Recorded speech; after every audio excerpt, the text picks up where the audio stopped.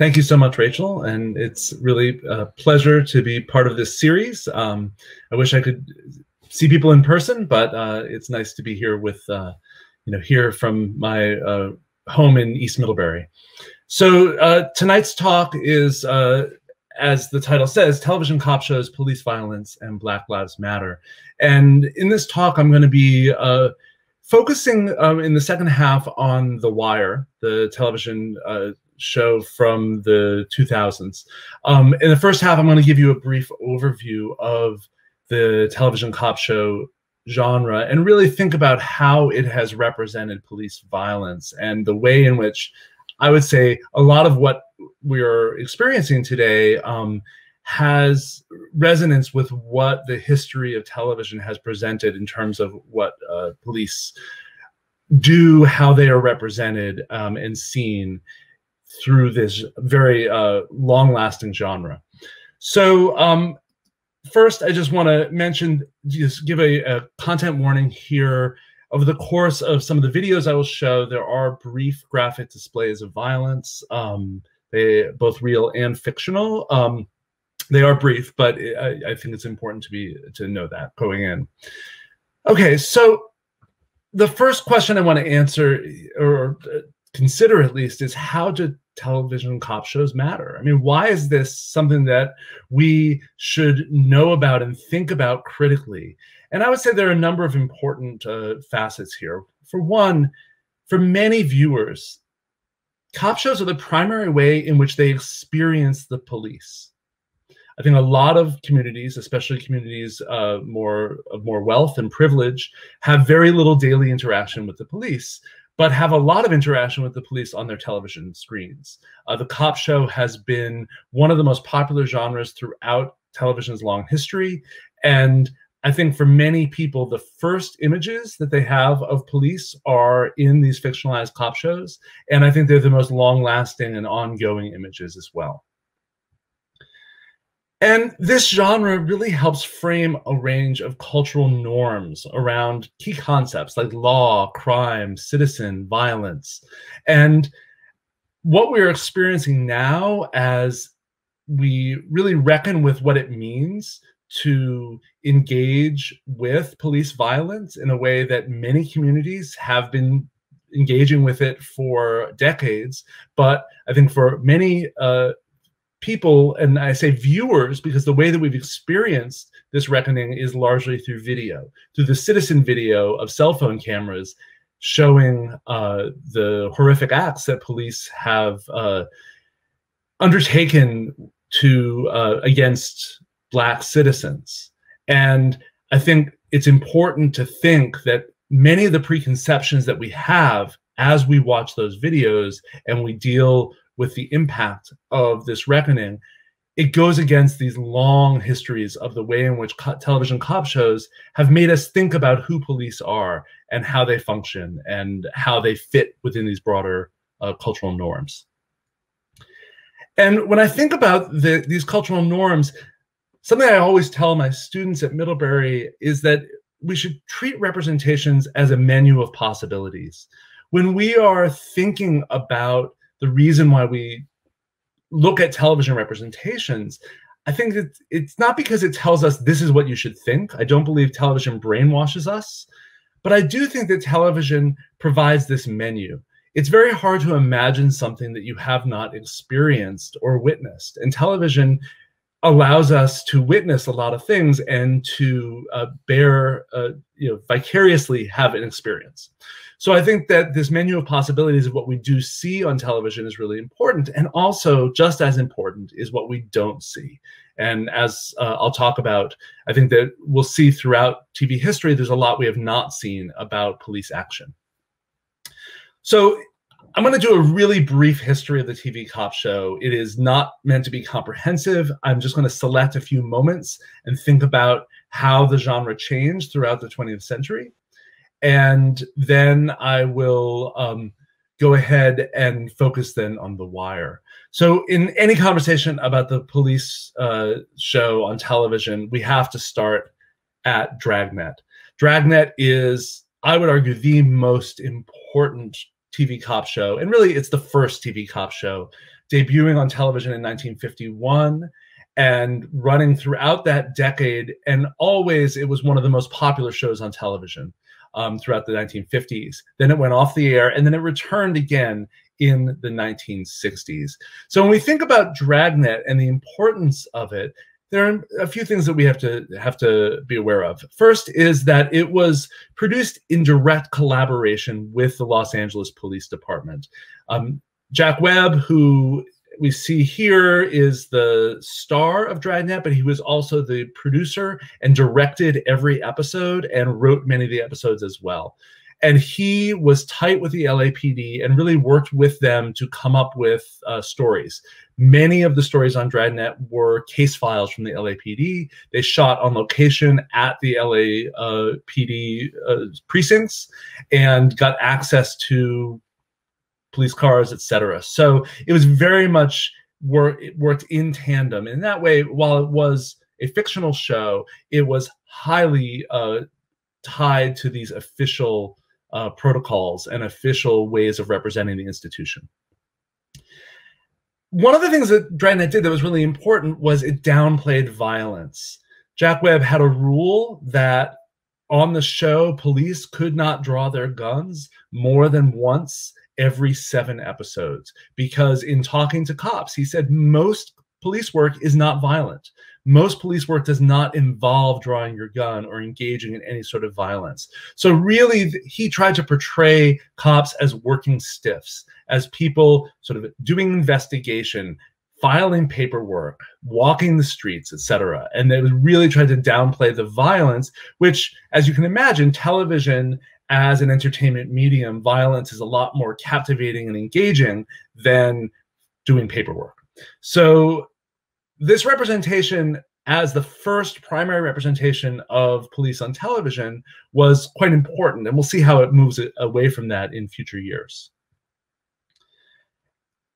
At the same time, Jack Webb and Dragnet as a whole believed in norms of justice, morality, and authority in, with a total lack of ambiguity. It was there was no question that the police were a righteous institution that were working for the side of good, and that criminals were a threat and something that needed to be uh, protected against.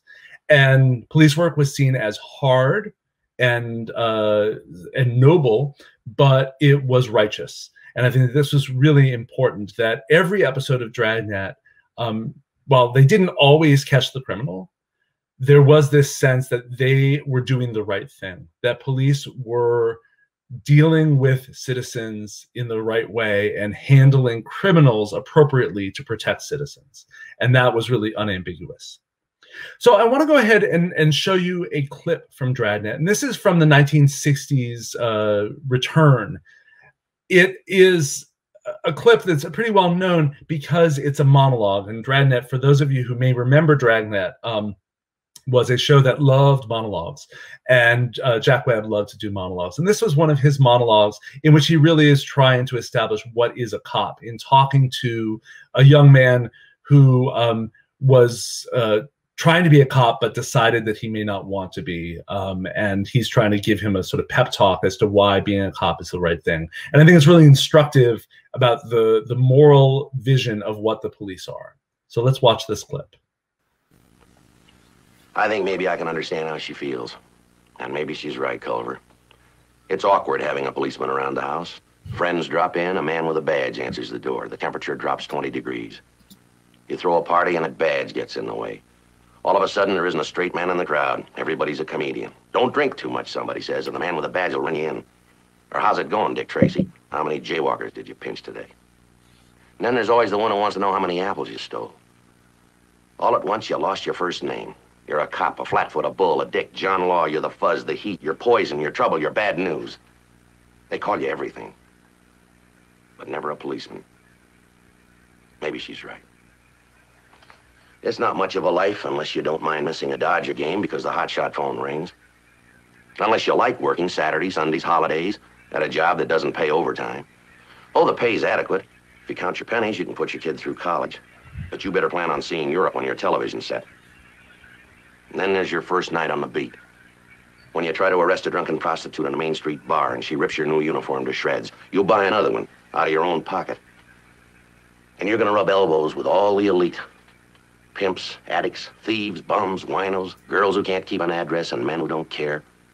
Liars, cheats, con men, the class of Skid Row. And the heartbreak. Underfed kids, beaten kids, molested kids, lost kids, crying kids, homeless kids, Hit and run kids, broken arm kids, broken leg kids, broken head kids, sick kids, dying kids, dead kids. The old people that nobody wants, the reliefers, the pensioners, the ones who walk the street cold, and those who tried to keep warm and died in a $3 room with an unvented gas heater. You'll walk your beat and try to pick up the pieces. Do you have real adventure in your soul, Culver? You better have, because you're going to do time in a prowl car. Oh, it's going to be a thrill a minute when you get an unknown trouble call and hit a backyard at 2 in the morning, never knowing who you'll meet. A kid with a knife, a pillhead with a gun, or two ex-cons with nothing to lose. And you're gonna have plenty of time to think. You'll draw duty in a lonely car with nobody to talk to but your radio. Four years in uniform, you'll have the ability, the experience, and maybe the desire to be a detective. If you like to fly by the seat of your pants, this is where you belong. For every crime that's committed, you've got three million suspects to choose from. Most of the time, you'll have few facts and a lot of hunches. You'll run down leads that dead end on you. You'll work all-night stakeouts that could last a week. You'll do legwork until you're sure you've talked to everybody in the state of California. People who saw it happen, but really didn't. People who insist they did it, but really didn't. People who remember, those who try to forget. Those who tell the truth, those who lie. You'll run the files until your eyes ache. And paperwork? Uh, you fill out a report when you're right. You'll fill out a report when you're wrong. You'll fill one out when you're not sure. You'll fill one out listing your leads. You'll fill one out when you have no leads. You'll make out a report on the reports you've made. You'll write enough words in your lifetime to stock a library. You'll learn to live with doubt, anxiety, frustration. Court decisions that tend to hinder rather than help you. Dorado, Morse, Escobedo, Cahan. You'll learn to live with the district attorney, testifying in court, defense attorneys, prosecuting attorneys, judges, juries, witnesses. And sometimes you're not going to be happy with the outcome. Maybe your girlfriend's right, Culver. But there's also this. There are over 5,000 men in this city who know that being a policeman is an endless, glamourless, thankless job that's got to be done. I know it too, and I'm damn glad to be one of them.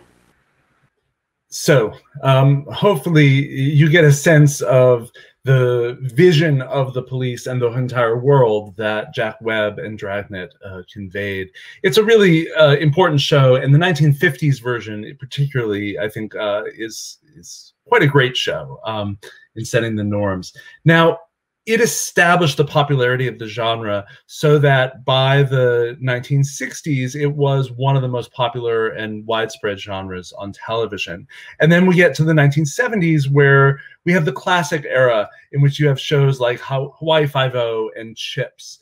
Um, and some of the changes we see in this era are that there's an increased focus on dramatic action uh, that really uh, you know raises the level of violence in these shows um, both the portrayal of violent crime and the need for violent response uh, chase scenes uh, in cars became more uh, commonplace. Gunplay became more commonplace. So the idea that Jack Webb had that it's it's really about the you know working stiff who's investigating leads and interviewing people really gets downplayed more for the police seeing being seen as a job of action and that the entertainment value of the genre is foregrounding action. Um, this is all to raise the dramatic stakes because we have to remember that television is a commercial industry trying to get viewers and ratings and having things be more exciting proved to be a lot more compelling to viewers than uh, three minute monologues. And along the way, it also glamorized police. We saw more and more police who were um, quite handsome, and you can see here in this picture of chips sort of uh, function as almost sex symbols. And I think the way in which police are glamorized and celebrated both as action heroes and as uh, sex symbols is really quite important. So I want to just show you a very brief clip from a uh, 1970s police show called Police Story. And this clip, you'll see, it's just a, a, brief example of this is the type of way that crime, a criminal act, and police intervention was represented in the 70s. Oh my God! Ah! Let me out of here! I want out! Let me out of That slow boy, you take the vice president. Right. Let's have a look at your safe. Oh, Come on. I want Police officer, freeze!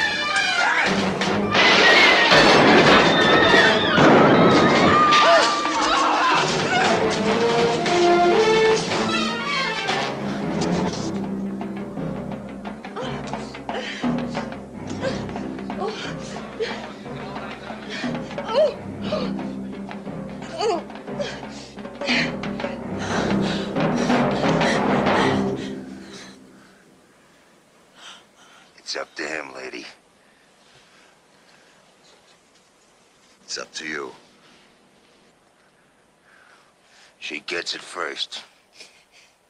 And you get it next, no deal.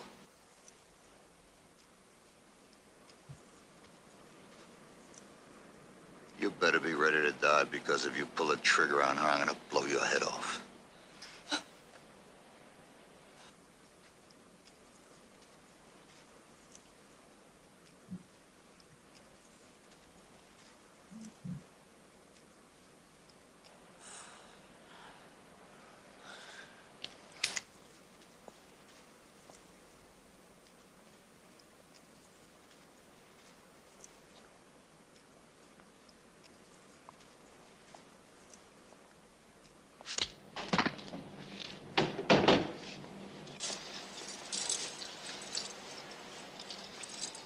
This was the day you almost died. Who turned me? Conscientious objector. I'd like to meet him. So hopefully you can get a sense from this uh, you know brief clip. This is a, a, a very different take on what a policeman does and how they fit within the um, context than what we saw on Dragnet. Um, so the 1980s and 90s is really hailed as the kind of revisionist era in which there are a lot of changes that happen uh, in the genre. So a couple of the you know popular and, and long-running examples are Miami Vice from the 80s and NYPD Blue from the 90s. And these shows uh, make some some important changes, and uh, in other ways do, don't make many changes. So, for one one important uh, revision that happens is who is a police person in this um, in in the genre. You have a real growth of women and um, Black, Indigenous people of color who are inhabiting the role of police. And uh, you can see this, um, you know, I mean, Miami Vice, where you have, um, you know, Philip Michael Thomas, uh, a black cop, on um, NYPD Blue, more uh, women police officers. Uh, Hill Street Blues, another really important uh, revisionist show from the 1980s, had a lot of uh, people of color as cops, and that is quite important because prior to this, it was really a dominant image of it was you know. A policeman was a man and was almost exclusively white, and that was very much the norm for the first few decades of television. Um, probably the biggest innovation of this era was the rise of serialized stories. Dragnet, every episode of Dragnet is standalone. They, you know, the cops encounter a case and they solve the case by the end of the episode. And it's very much this self-contained narrative. And that was very much the norm throughout the 1970s. Um, the 80s with Hill Street Blues, Miami Vice, and then later NYPD Blue, as I said, um, there's much more emphasis on the, the police are characters that have relationships, sometimes with each other, sometimes with you know people outside of the force, and there's a real emphasis on their lives outside of being uh, police, and an emphasis on the idea that there are cases that last and uh, certain uh, issues that are going on in the workplace that uh, persist along every episode. Now, the rise of serialized stories, what it does is it increases viewer engagement and sympathizing with these characters. Dragnet, there was a real sense that the policeman was just there to do his job, and there was almost no bleed into his personal life. And when we see with these stories, there's a real sense of investment in police characters as people, and thus it humanizes them a lot more. Um, not so much humanizing the criminals, right? So there's a distinction that happens here. And you also have the increase of both a sort of commitment to a stylized glamour. That was what Miami Vice was all about. Um, the the tagline for the show and creating it was MTV Cops, trying to get that sort of music video feel. Um, and then you also have an emphasis on gritty realism, a real sense of sort of urban decay being represented on screen. Hill Street Blues was was particularly innovative in that regard. So there's all this sense of upping realism, upping investment in the characters. Um, and I just want to give you a, a, an, an example to look at, which is Cagney and Lacey. Cagney and Lacey very uh, notably was um, innovative because the two main, the two title characters were both police women, and it was really the first show that focused on the lives of police women uh, both on the force and outside the force, and dealt explicitly with uh, issues of sexism that they were facing in the workforce, and uh, dealing with. So one of the characters was a mother, and trying to, to grapple with her role as a parent and as a cop. As you'll see in this clip, the police that are represented are not white men. Um, and there's a real sense of there's a different identity as to who is a cop. But I think some of the ways in which police are uh, shown to do their jobs is uh, fairly consistent. So let's look at this clip.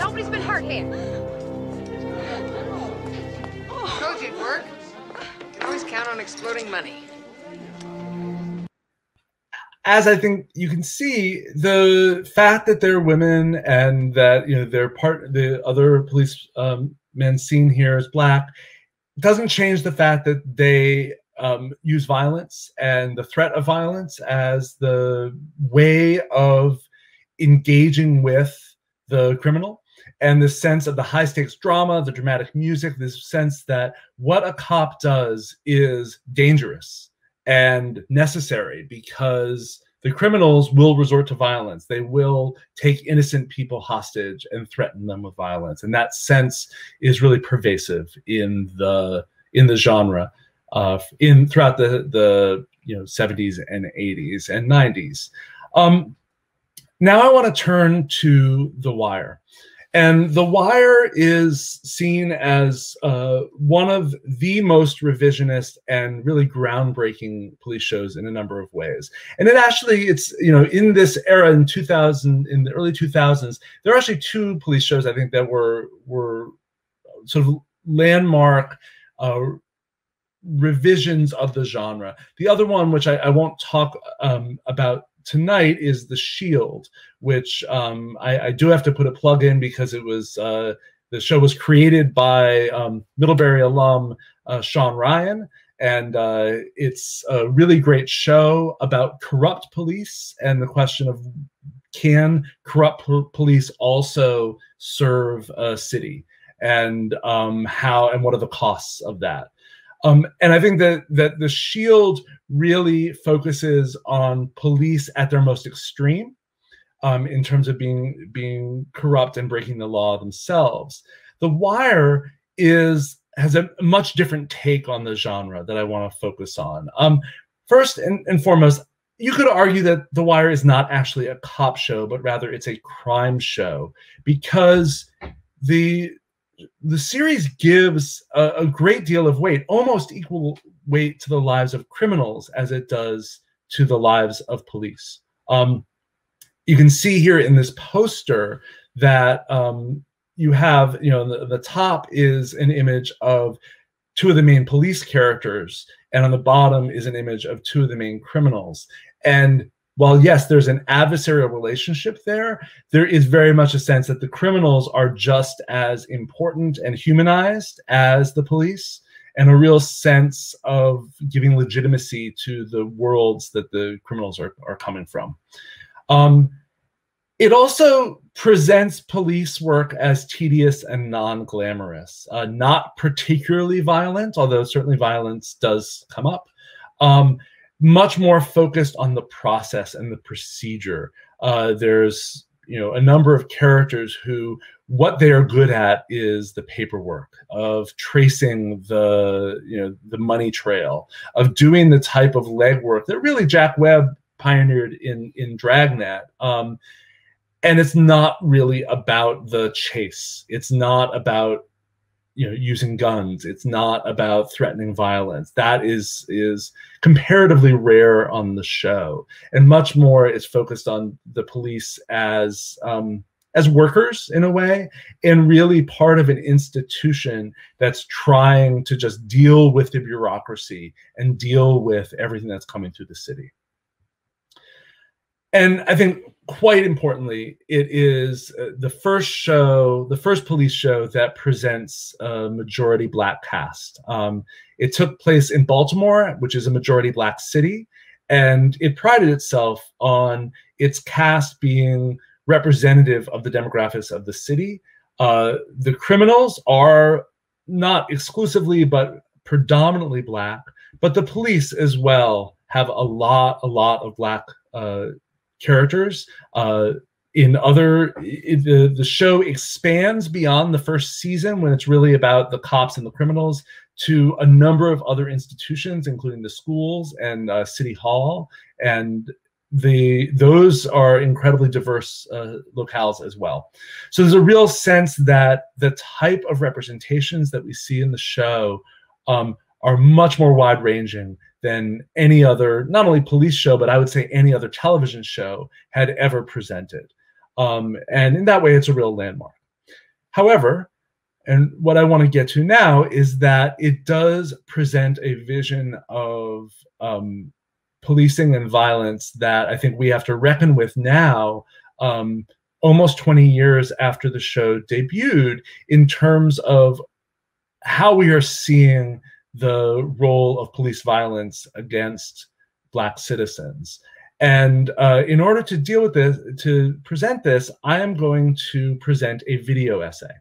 Now, I can I'd be happy to in the Q and A talk a little bit about what video essays are and how they work. Um, but in short, I've made a video using footage from The Wire as well as other sources that makes my argument in some ways it's a presentation that i'm giving but instead of using a few clips uh, like i've done right now um, i'm using a whole bunch of clips all edited together and really presenting my ideas hopefully in, in a lot more uh, compelling way than uh, a slideshow the other great thing about video essays is that it doesn't have to be a scheduled event like this with a presenter, but rather it lives on. So this link that I've put in the slides um, will take you to a place where this video essay is published online. Um, I created the video in 2018, and as such, you'll see some of the references I talk about. Um, you know, there are a number of absences. Like this was before George Floyd.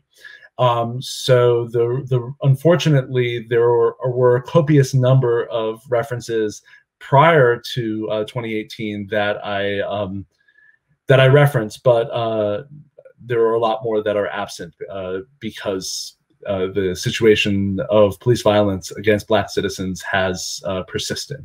So what I'm going to do now is uh, screen the video essay and then offer a few concluding remarks, and then I look forward to uh, answering your questions.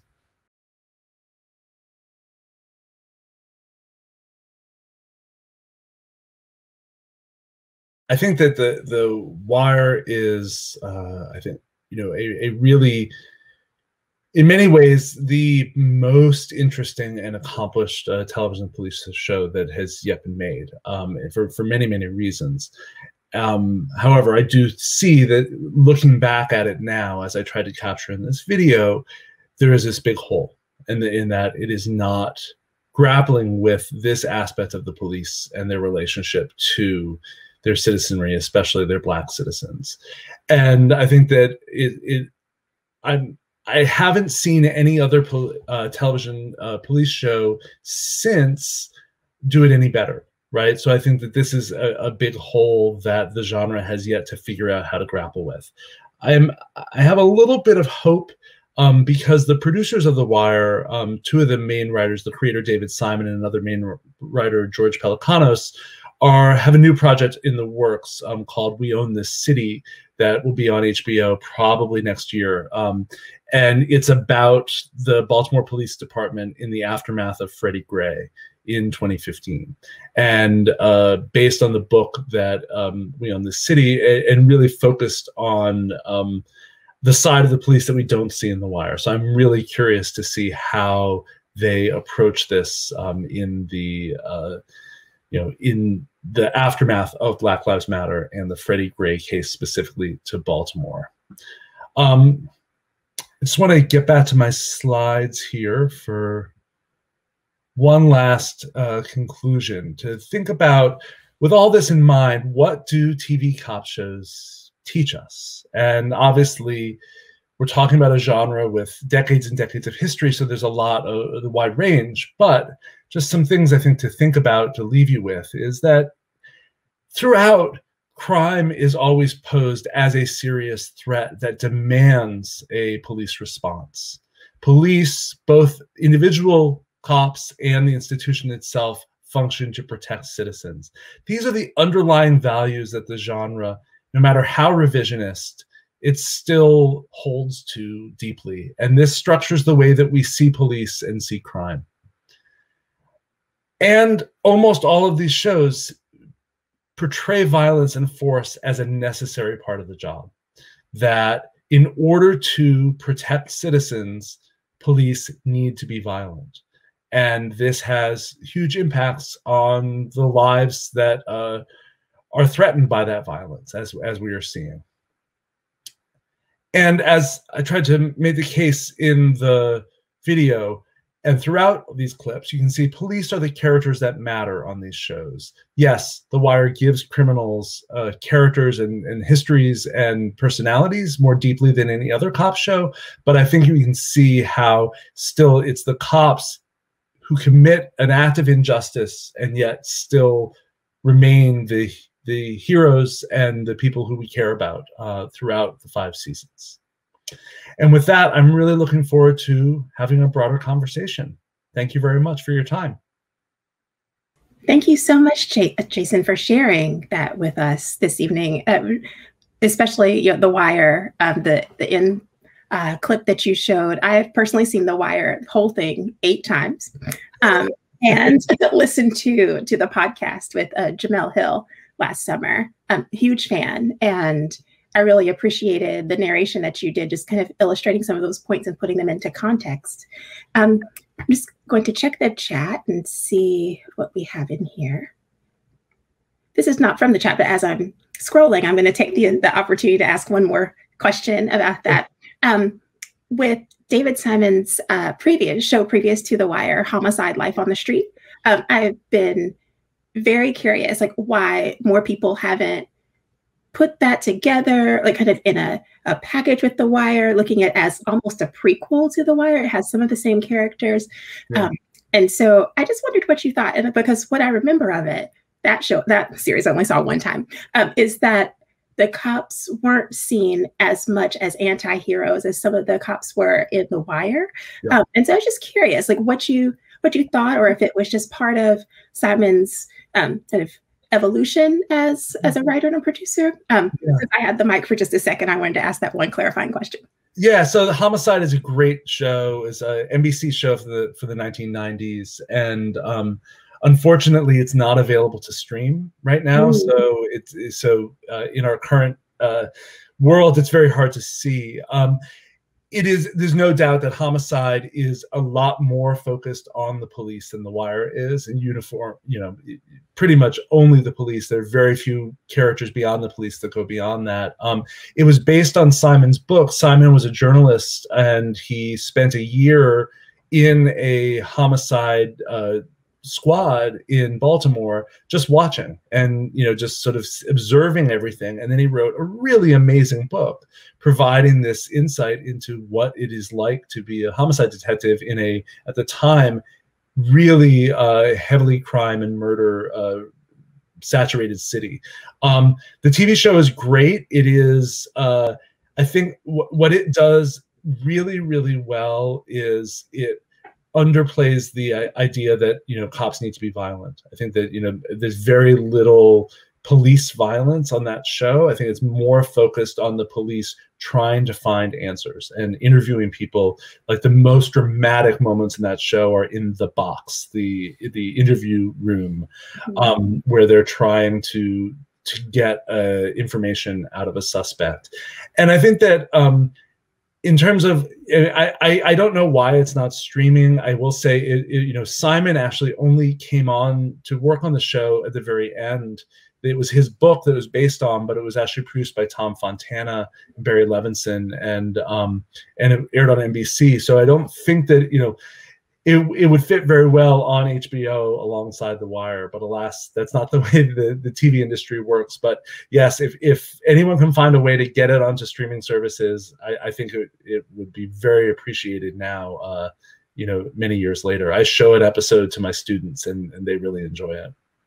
Absolutely. I'm, I'm one of those few people that still has the, the DVD set. So that's, that's, how I still have access to it. Um, one more wire related question that I'm seeing here um, yeah. is how, um, in your opinion, um, did the, the, the, the season that featured the, um, the journalist and um, the journalism episode or season, season five, yeah. how do you think that their view of the police um, matched what the other views were. It looks like what this question is is um, how realistic was that um, in your opinion? How much is that reflective of Simon's own experience? Yeah, I mean, it definitely was very reflective of Simon's own experience. There were a couple other journalists who also were writers on the show.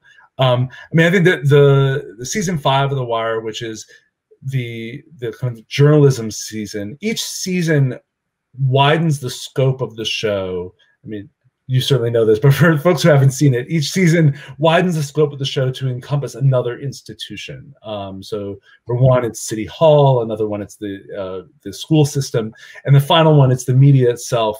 And um, I think that the the way that journalism is portrayed, there is a I think that season gets a bad rap. A lot of people point to the fact that this was 2008 and there's a real sense that the internet did not exist on the show right? And and that, that by this point uh, david simon had not been a journalist for almost 10 years. And thus he was really reflecting on an era of journalism that was prior to the internet.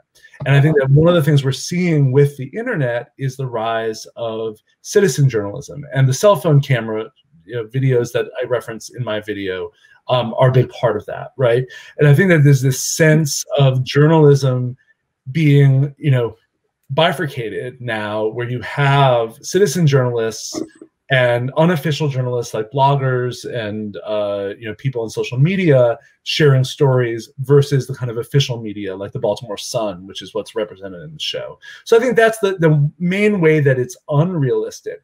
The thing I think is really realistic is the way in which it's clear that to the journalists, police are an important source, right? And I think that this is one of the issues at play that um, has been a challenge in the sort of rise of critical takes on police systems in the past few years is that journalists primarily know police as source material and thus there's a sense that they need access and you know the the role of access in journalism is crucial and forges our political coverage and I think also our coverage of crime, especially in cities. So I think that there that in general, journalists on the wire and in real life are not um, as antagonistic with police departments as often they should be because they have established relationships with with individual police officers in order to get access to stories and access to scoops. Okay, thank you so much for answering that one. I have a, another that's a follow up that takes a little bit of a, a veer, um, but a great question. Um, Jason asks um, that when you say that police are the characters that matter, are there any important counterexamples that come to mind? And he also says um, that he's thinking of oh simon's the corner um, which puts the characters who are sometimes framed as quote the problem at its center and are there others that are challenging um, this focus or centrism of the police.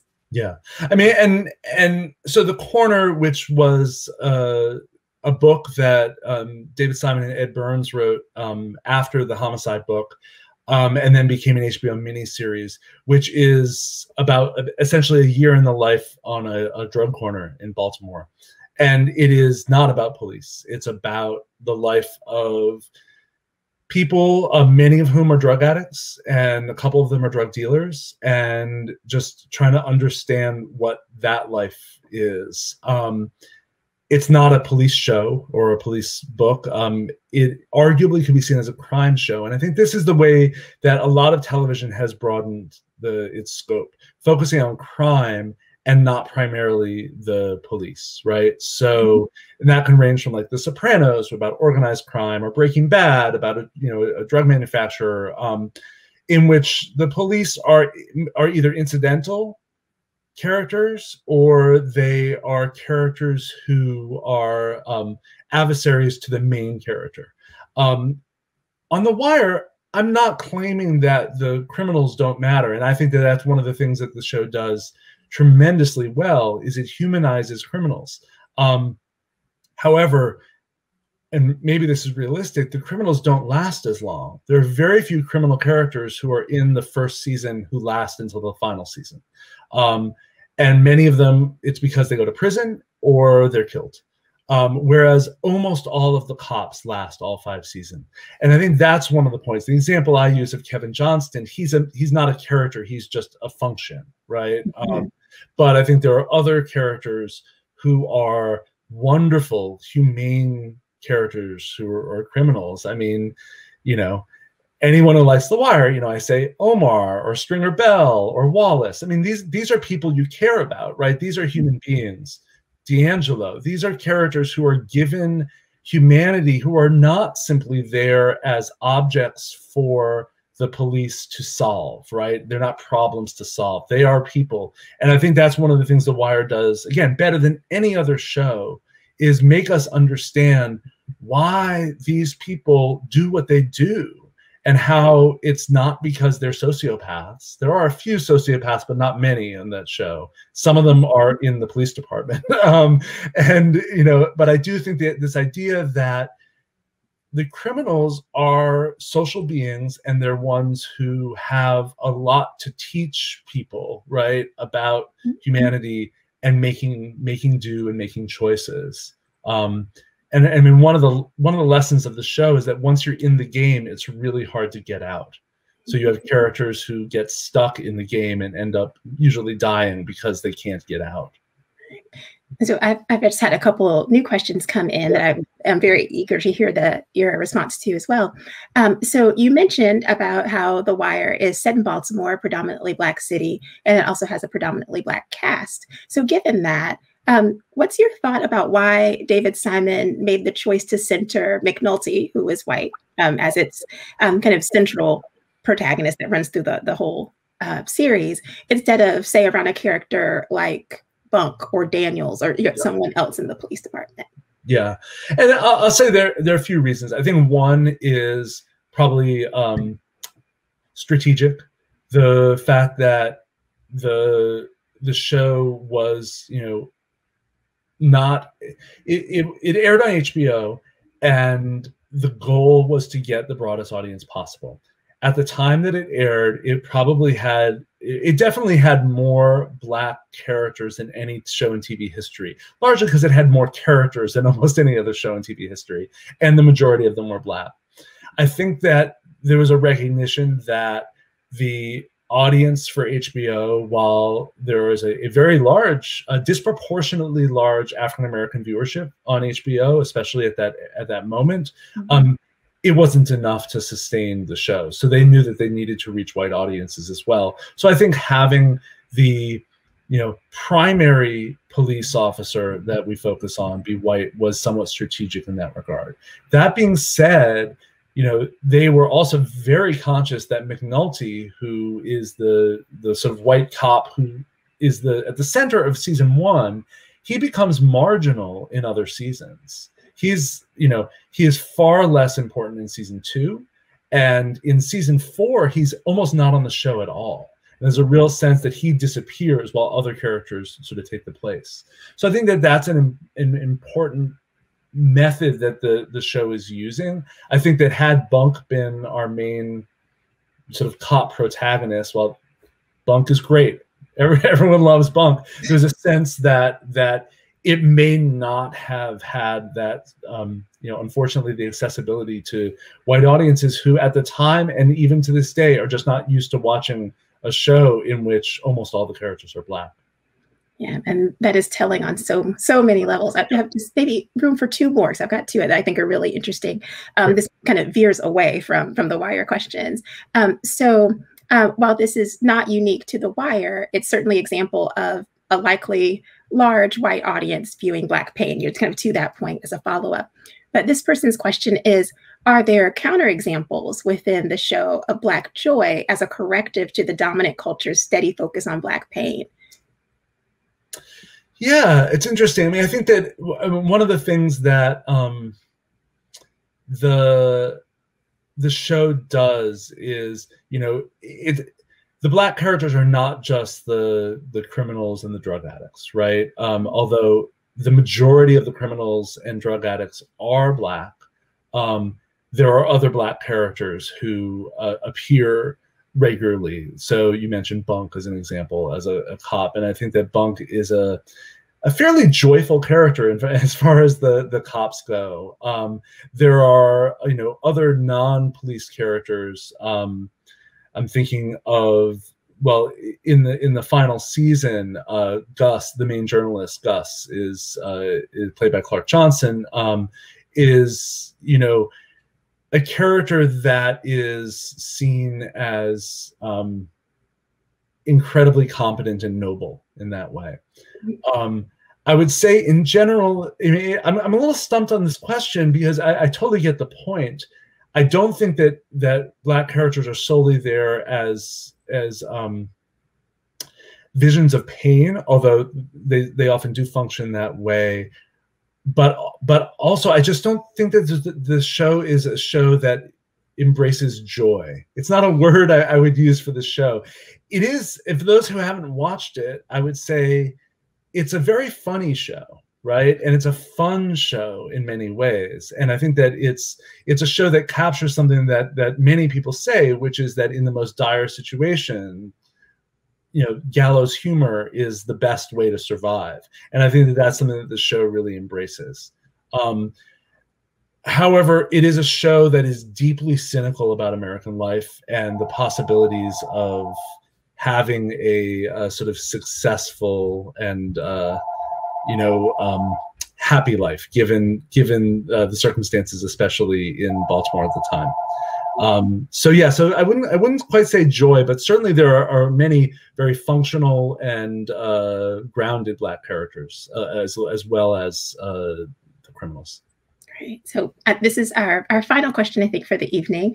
Um, so, in as much as television cop shows have been with us for a very long time and are not likely to go anywhere any sooner. Um, in within the framing and the context of Black Lives Matter, just to bring it back to to the the original topic this evening, how do you how do you envision television cop shows changing um, or in their portrayal of of characters and their portrayal of cops, why cops do what they do, why criminals do what they do. Just curious about about that point.